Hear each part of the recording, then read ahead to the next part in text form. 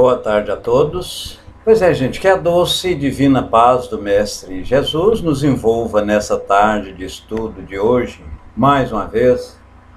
Nós que temos a oportunidade de estudar esta extraordinária doutrina, a doutrina de Cristo, a doutrina de Jesus, porquanto ela nos diz de forma clara, de forma cristalina, de onde viemos, o que é que estamos fazendo e para onde vamos. Para onde vamos. E nós, em primeiro lugar, temos que agradecer a oportunidade ímpar, eu diria ímpar mesmo, no singular, desta reencarnação. Certa feita, e isso eu já falei algumas vezes, e não foi propriamente é, uma coisa do próprio irmão X, mas certa vez perguntaram a Chico se ele não gostaria, é, se ele não, como já tinha vivido há muito tempo aqui, se ele não sentiria vontade de retornar à pátria espiritual. E ele, com aquela voz mansa, aquela voz tranquila, ele disse o seguinte: Para que, meu filho? Para que isso? Se a gente volta e entra na fila para reencarnar novamente? Então, quando eu falo que nós temos a oportunidade ímpar, ímpar mesmo, é agradecer após o acordar, após o abrir os olhos, o interrelacionar, o estar aqui agora né? Hoje nós estamos com poucas pessoas. Pouca não, tá ótimo. Não, não, é, encarnadas são 12. São 12 pessoas, mas tem dezenas de centenas, para não dizer milhares de, espíritos, outros que estão nos ouvindo. E nós temos a oportunidade de estar aqui. Gente, então para dar início, eu gostaria, como sempre eu, a gente pede, vocês colocarem na tela um número de 1 a 288. E Free, você não teve é, aqueles estudos, nós reeditamos aquele 9 que você pediu para que lêssemos e falássemos. É, nós, ao editarmos os estudos, contemplamos aquela solicitação sua. Meus irmãos, de 1 a 288, por favor, alguém coloca aí na tela. 1 a 10. Muito obrigado, Catinha, você pôs 10. E 10 nos diz nós vamos ler aqui, meus irmãos, do Carlos César Pastorino. Eu gosto muito desse, desse best-seller, né? Cinco minutos, um livro pequeno. Ele, na época, não era espírita, morreu como um espírita, mas isso aqui ele trabalhava na Rádio Rio de Janeiro, recebia uma série de sugestões, de opiniões, de ouvintes, e ele lia. E disso nasceu esse extraordinário livro. E quando a gente lê, após a prece feita pela parceira, pela Xari, a gente torna-se, a gente fica, a gente mantém mais harmonizados. Nós mantemos mais harmonizados. Catinha, modifique seu modo de pensar para que sua saúde se firme e se estabeleça. E quando eu digo Catinha, eu estou dizendo para mim mesmo a última pessoa que chegou, que foi é, é, a fraterna. Deixa eu ver aqui. Justamente a Cláudia. Seja bem-vinda, Cláudia. Que seja a Cláudia. Para mim mesmo, até a Cláudia. Para que se queixar de doenças? Né? A gente normalmente queixa e queixa muito. A doença é aumentada pela nossa emissão mental negativa. Expulse a enfermidade confiando em sua cura. Você pode curar-se. Você está melhorando cada dia mais, sob todos os aspectos e sob todos os pontos de vista. Tá vendo? Foi para você, é, é, é, não foi para mim, né? Então, na verdade, nós temos que jogar dentro de nós e para nós, cada um per si e por si, pensamentos bons, pensamentos virtuosos. Não estamos sofrendo a doença. não estamos tendo algum mal senão aquele que nós ou aqueles que nós solicitamos. Isso porque a doença, a dor, o descompasso orgânico, ele é uma bondade, é uma benevolência, é uma coisa extraordinária que a providência divina nos dá, nos oferece. Mas para aí, irmão X, você está falando que uma dor, uma febre, um câncer, uma pneumonia é uma coisa boa? Sim, é uma coisa boa. Se não vejamos, nós, é, na própria encarnação e na encarnação precedente, transata, nós não fomos e não somos nenhum santo, não fomos e não somos nenhum virtuoso, porque se assim fôssemos, não estaríamos encarnado aqui na Terra, na carne. As pessoas que não são espíritas, e quando ouve o espiritista, o espírita, falar encarnado, né? Encarne, desencarna, parece desossar frango, né? É uma palavra forte, mas encarnar é o entrar na carne. Ou desencarnar é sair. Mas para quem não é, é forte. Então, se eu tenho devida doença, é dado meu planejamento reencarnatório, eu escolhi, junto com a espiritualidade maior, com os meus tutores, com os espíritos que me dá e dão a sustentação. Desculpa. Dá a sustentação para ter essa ou aquela vida. Esse efizema que eu muitas vezes escolhi nesta existência, e veja que eu não disse vida, eu disse existência, eu não disse vida. Foi justamente porque muitas vezes, nessa no início ou em outra existência, eu abusei do tabagismo, eu abusei do fumo, fumei exasperadamente. Aí sim, eu solicitei que nessa, outra, talvez eu tinha solicitado nos, noutra, ainda não consegui ficar sem o vício do tabagismo, para que, ao pegar o cigarro, para que, ao fazer isso ou fazer aquilo, aquela doença me impede, ou me impeça. E, em me impedindo, eu sigo, coloco, vamos dizer assim, o carro novamente nos trilhos a gente, como o Tic Tac fala, a gente costuma ver a pontinha do iceberg. Na verdade, quando a gente vê a ponta do iceberg, a parte maior está submersa. A parte maior está submersa. Então, esse, essa pontinha do iceberg, essa dor de cabeça, esse câncer. Ô, Décio, mas você está falando câncer é uma pontinha do iceberg? Sim, considerando a nossa vida eterna, porque tivemos início, mas não teremos fim. A eternidade é, é não ter fim, não ter início nem fim. Nós não somos eternos, mas infinito.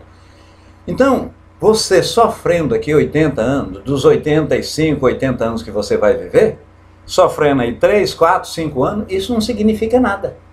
Não significa nada. Muito bem, meus irmãos. Então, falou, Catinha.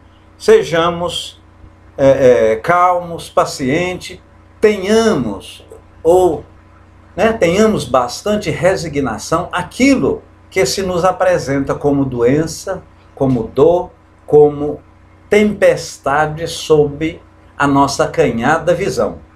Sob nossa canhada visão. As pessoas que estão chegando, sejam bem-vindas. Meus irmãos, é, nós, hoje, como está no banner aí, nós vamos estudar a questão 673 bem-vindo, né? Bem-vindo, amigos é, e irmãos em Cristo. Então, nós vamos é, é estudar a questão 663, que é a lei de adoração. Antes, porém, é oportuno que falemos de sacrifício. Porque os povos de outrora faziam e praticavam o sacrifício, com a intenção, naturalmente, de agradar a Deus. de agradar a Deus.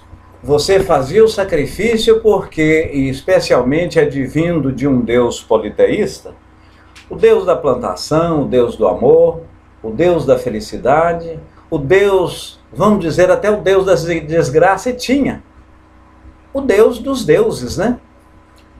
Cada Deus, particularmente, se prestava a um ponto, a uma vertente da vida humana. Ora, se a minha colheita foi boa, se isso não está prestando, é porque o Deus atinente àquela atividade está raivoso, está irado. Então eu preciso fazer um sacrifício.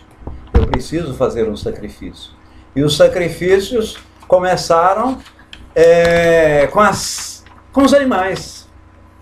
Aqueles animais mais queridos, aqueles animais mais próximos aos meus familiares e a mim mesmo. E depois foi percebendo ou achando que quanto mais aquilo me era caro, quanto mais aquilo eu tinha como uma coisa, vamos dizer, extraordinária, bondosa, imprescindível, mais valor tinha aos olhos de Deus se eu prescindisse da convivência, da, daquela harmonia, da vivência em si, se eu sacrificasse, se eu tacasse fogo naquele animal e as cinzas evolavam, iam para Deus. Iam para Deus. E as pessoas que assim achavam que Deus estava sinceramente agradecido por essas oferendas, foi sofisticando o seu ato ou seus atos de crueldade. Deixa eu ver a área de texto. É... Não seria melhor? Eu não entendi. Então, passou-se num segundo instante passou-se num segundo instante a fazer sacrifícios humanos. Veja bem, meus irmãos, eu quero aqui nesse momento é, lhes dizer que eu tenho olhado pouco para a tela, porque nossa sala é filmada, né? Então eu olho muito para a câmera, ou quase só para a câmera, e aí, a hora que eu olho para a área de texto, muitas vezes eu passo é, igual essa questão, essa colocação do tic-tac que ele pôs, quando ela vem de outra vida, a causa também vem de lá. Né? Então, naturalmente, foi em decorrência de alguma coisa que eu falei. Mas como eu não estava olhando para a tela na hora, né, eu agora fica até um descompasso eu responder. Ele, na verdade, estava ressaltando o que eu estava falando naquele momento.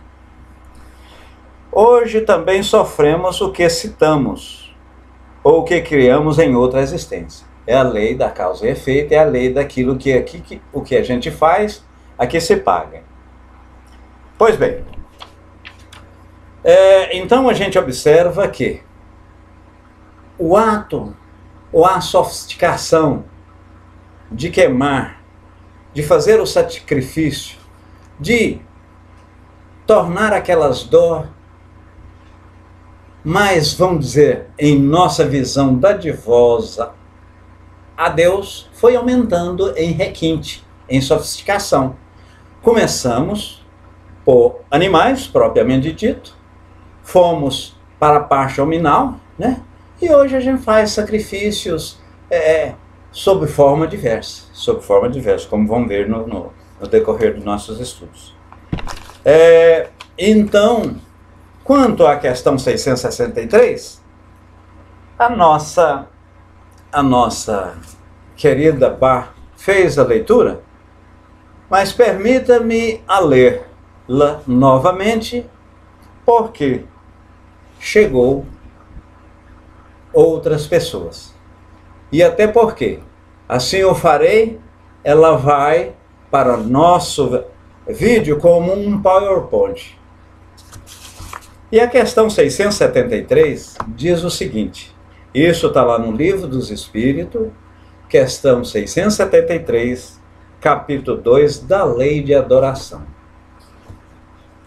Não seria um meio de tornar essas oferendas agradáveis a Deus, consagrá-las, a minorar os sofrimentos daquele quem falta o necessário e, neste caso, o sacrifício dos animais, praticado com um fim útil, não se tornaria meritório, ao passo que era abusivo, quando para nada servia. Ou só aproveitar, ou digo, só aproveitava aos que de nada precisavam? Outra subpergunta dentro da mesma.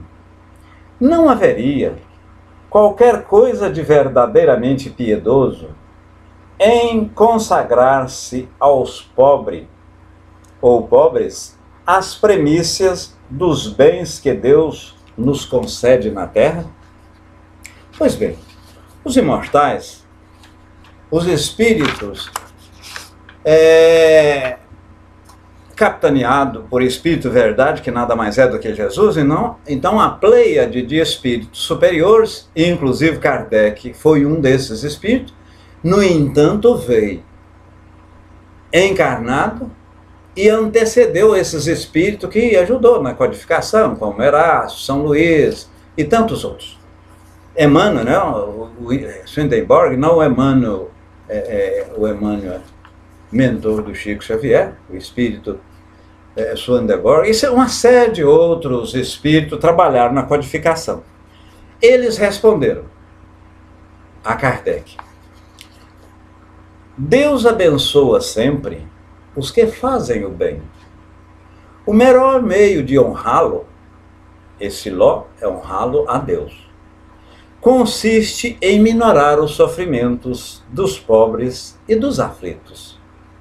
Não quero dizer com isso que ele, Deus, né, desaprova as cerimônias que praticais para lhes dirigirdes as vossas preces. Muito dinheiro, porém, aí se gasta, que poderia ser empregado mais utilmente do que o é. Deus ama a simplicidade. A humildade também, né, meus irmãos? Deus ama a simplicidade, repetimos, em tudo. O homem que se atém às exterioridades e não ao coração é um espírito de vista acanhada. Dizei a consciência se Deus deve atender a forma do que o fundo. Então, as respostas dos imortais acaba fazendo uma subpergunta. Aliás, a terceira, a, segunda subpergunta, né? Devemos nos preocupar mais com o fundo ou com a forma? Devemos nos preocupar mais com o fundo ou com a forma? Hoje também sofremos o que criamos em outra existência. Diz o velho ditado: quem planta, colhe. É, tem outro que você conhece, tenho certeza, diz o Tico. É, e a Xanri fala que é o ditado verdadeiro. E quando os dois entabula conversação, melhor, teclam nesse sentido, nada mais é do que aquilo que estudamos. Lei de causa e efeito. O que se planta, o que se colhe você necessariamente não está obrigado a plantar. Contudo, a colheita é obrigatória. Então, o plantio é opcional. A colheita, no entanto, é obrigatória. Isso quer dizer que, em você plantando pepino, em você plantando um tipo de vegetal, a semente oriunda daquele vegetal, consequentemente, você vai colher a mesma planta. Ah, mas para aí. Não é aquele caso também, você chega lá no, no centro espírita, normalmente a pessoa chega com aquela dor, o coração compungido, chega, né, carcomido. Oh, eu vim aqui, eu estou sofrendo demais, o meu filho está indo, enveredando para os caminhos da droga, meu marido está portando desse, desta forma, a minha cunhada, ou, né? aquele parente próximo está assim, está assado, está portando-se dessa forma, que não é a forma aconselhável. Aí você chega peremptoriamente e diz: Não, para aí. Está corretinho, você merece. Você fez isso na vida, for, na vida passada. O que você plantou, você colhe. Aí, se nós portarmos desta forma, se assim posicionarmos, nós estamos nada mais do que fazendo o quê? Sancionando a lei mosaica. Olho por olho, dente por dente. Então, para aí, meus irmãos. O cidadão chegou em nossa casa, em nosso centro espírita, ele chegou com o coração doído. Aliás, chegou, chegou não está com o coração doído. Veio procurar um lenitivo, veio procurar uma palavra, veio procurar um consolo. Então a gente tem que recebê-lo da mesma forma. Não é simplesmente chegando e falando que ele deve aquilo. Não é simplesmente falando que ele já deve frequentar um estudo no centro, tem que fazer isso, tem que fazer aquilo, que aquilo ele merece. A gente muitas vezes fala, mas é para uma pessoa que já tem um conhecimento igual o nosso para cima. Você não pode, não deve falar isso para a pessoa que está chegando à casa, né? Porque você vai fazer menos do que um crente, mas simplesmente um descrente ou por outra. Não, eu vou aqui só uma vez. Eu vou lá na outra doutrina, doutrina da prosperidade, doutrina do amor, doutrina do dando que se recebe, doutrina da 20 recebe 40, né? Nós somos sabedores qual é essa doutrina, então eu não vou ficar aqui. Deixa eu ver a área de texto aqui. Muito bem. Então, não julgar o erro dos outros. Não julgueis para não ser julgados. Não julguei para não ser julgado. E isso aí, essa afirmação, Tico Teco, nos remete, nos remete a, a aquele julgamento quando, muito tranquilamente, de forma bastante cômoda, a gente olha para o nosso próximo. Quando eu falo próximo, nós vimos agora mesmo um exemplo.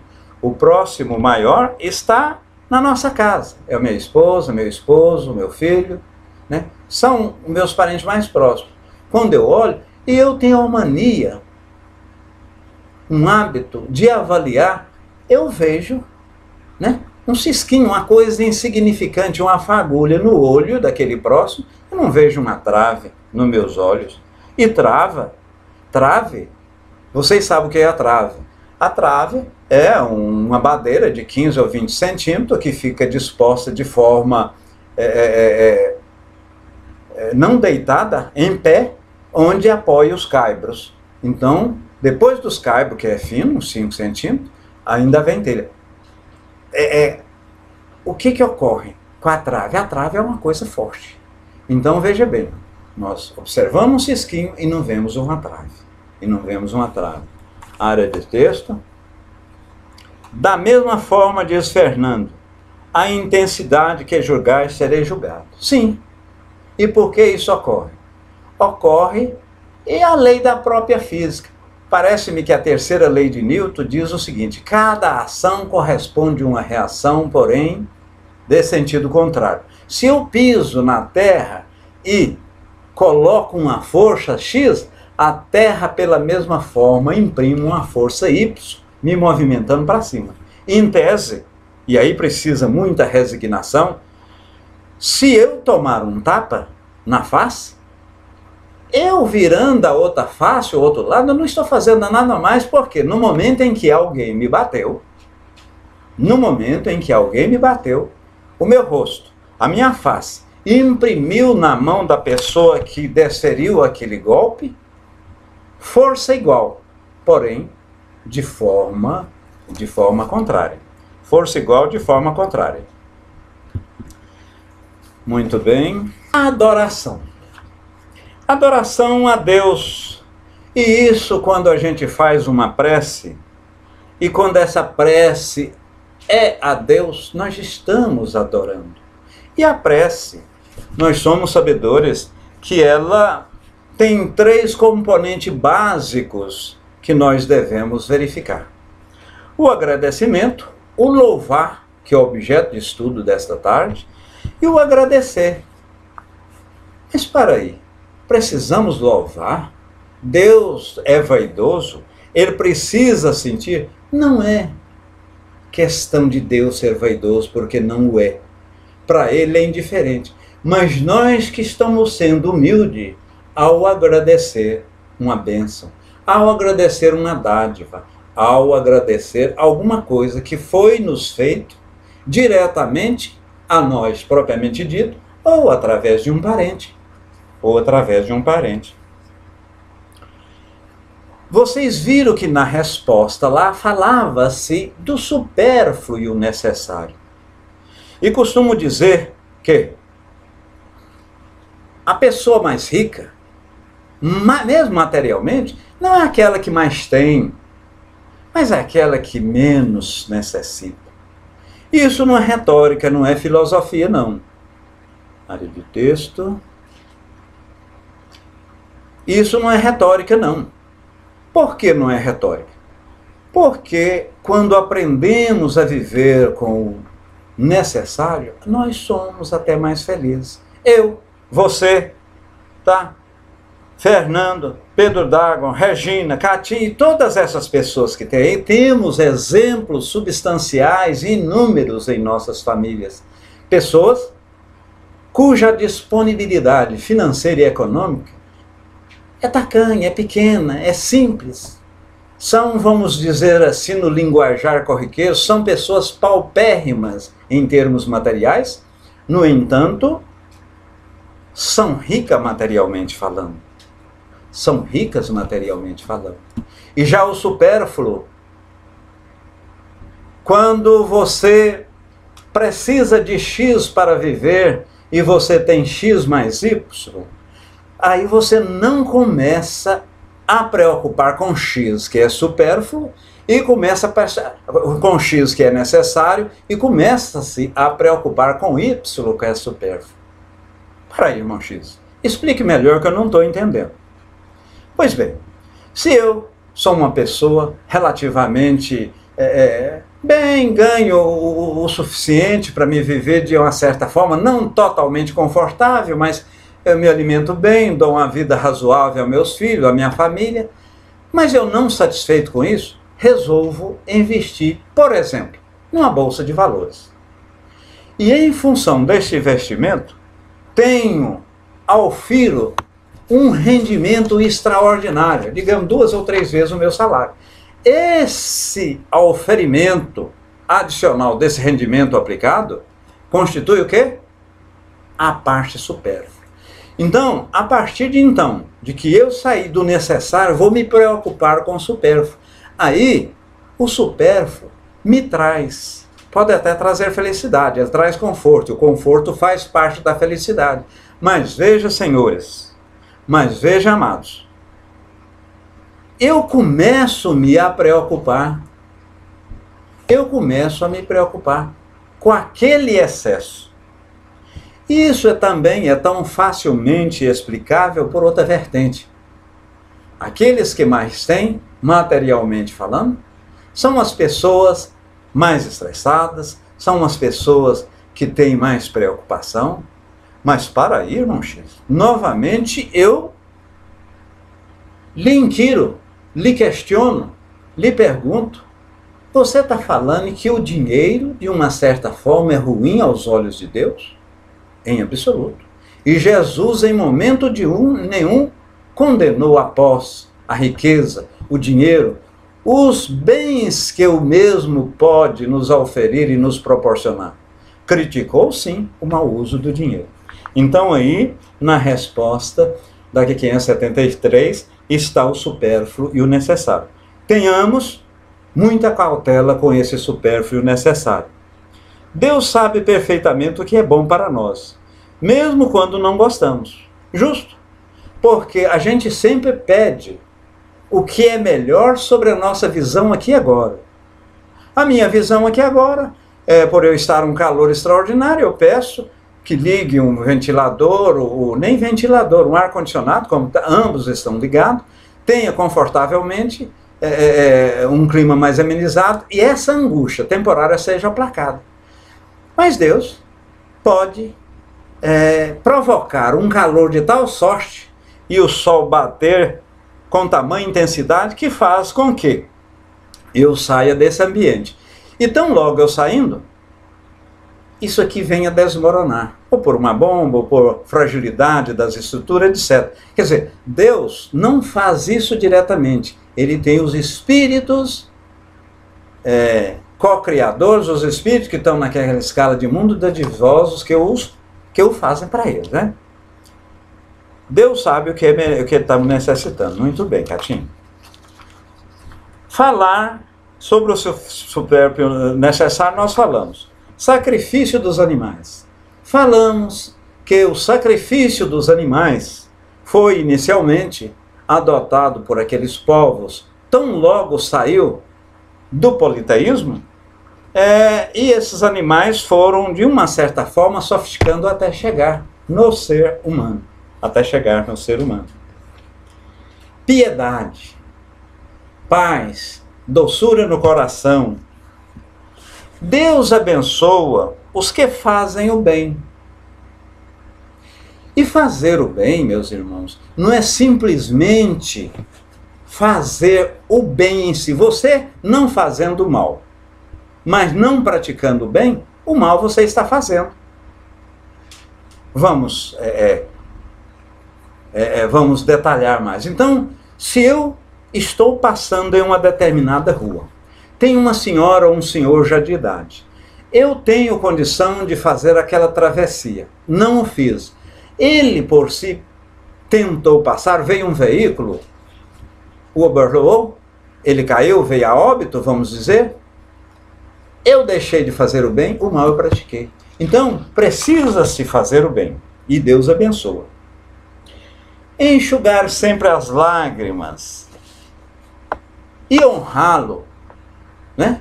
Honrá-lo através do agradecimento, da prece, ó, o, o honrá-lo a Deus, né? O que nós estamos aí estudando relativamente à adoração. Quando você honra-o, você adora-o. Enxugar lágrimas, honrá-lo, é minorar o sofrimento dos pobres e humildes. E como Deus gosta de atitudes nessa área, então, pela mesma forma, nós estamos louvando, nós estamos adorando a Deus. Vimos que, relativamente ao dinheiro, Deus é, não maldiz o dinheiro. Ele diz, vamos dizer, ele não maldiz, ele fica sentido, ou os espíritos que nos dão a sustentação tutelar ficam da forma errônea que nós fazemos. Mas o dinheiro é extraordinário. Até o Satanás obedece a Deus. Sim, sim, Tico. E obedece por quê? Porque é uma criatura. Mesmo que ele está temporariamente naquela situação de um irmão é, é, no caminho do erro, no caminho da inverdade, no caminho da perdição, mas ele está ali temporariamente. E nós, observem, meus irmãos, não seremos plenamente felizes se tiver um irmão um conhecido, sobretudo uma pessoa a nós relacionada, num posicionamento anterior, numa estrada é, anterior a que nós estamos. Né? No estado anterior que nós estamos. O perdão, você precisa perdoar. Está lá na resposta da 673. O perdão dá maior pureza. E perdoar não é simplesmente você olhar para a pessoa, olha, Xari, eu estou, eu estou te ouvindo. Eu te perdoo, mas eu não quero que você me fala mais nisso. Isso não é perdão. Isso não é perdão. Isso, perdoar é você esquecer.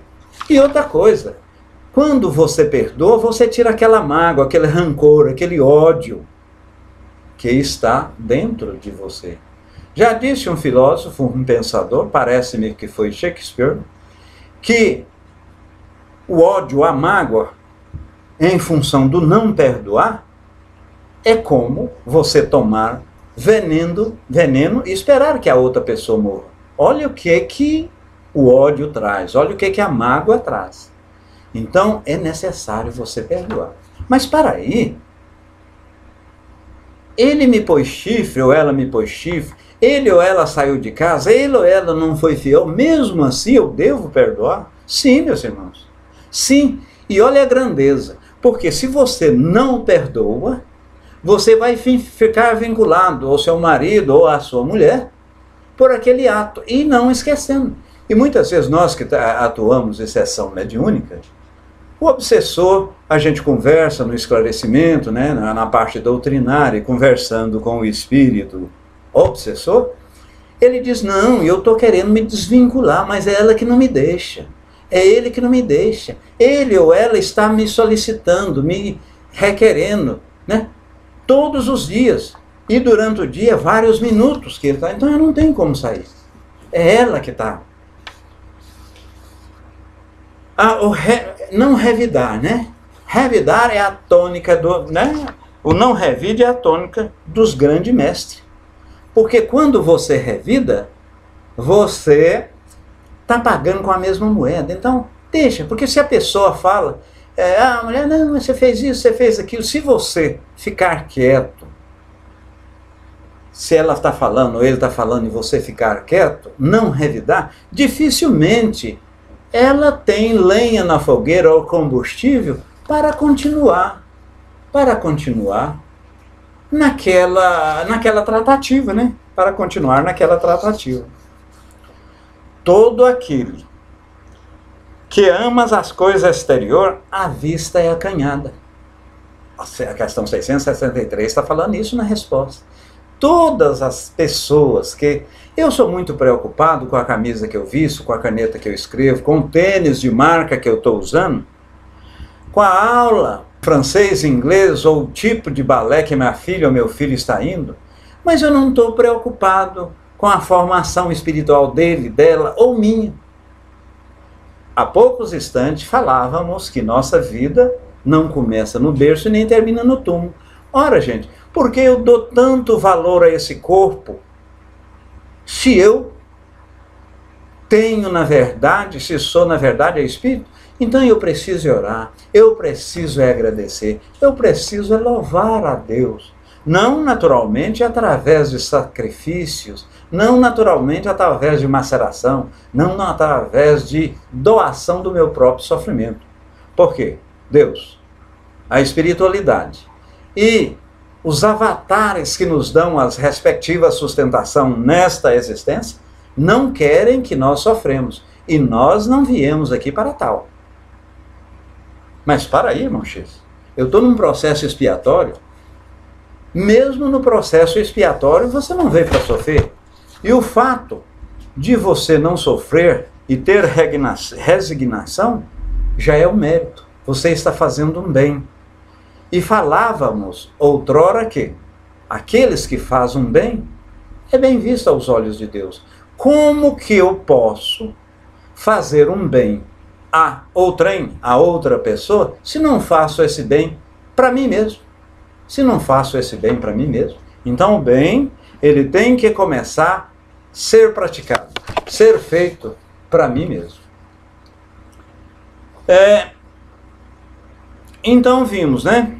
Vimos aí é, de uma forma é, mais contextualizada a questão 673, que precisamos louvar, precisamos agradecer e, sobretudo, adorar a Deus. O fato de que, muitas vezes, ah, não, eu não vou fazer isso, não, porquanto Deus sabe o que eu necessito e o que eu preciso, eu não preciso orar, irmão X, eu não preciso fazer isso, não preciso fazer. Lê do engano nosso. Precisamos. Evidentemente que não prostando, não macerando, não fazendo alguma coisa que soframos aos olhos de Deus, porque isso não é benéfico, isso não é bom.